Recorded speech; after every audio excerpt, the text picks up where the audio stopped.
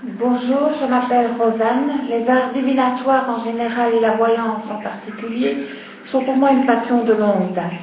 Après de nombreuses années de pratique et d'expérience, je mets aujourd'hui toutes mes capacités à votre service afin de vous éclairer sur votre avenir. Alors je vous attends pour une consultation. À bientôt.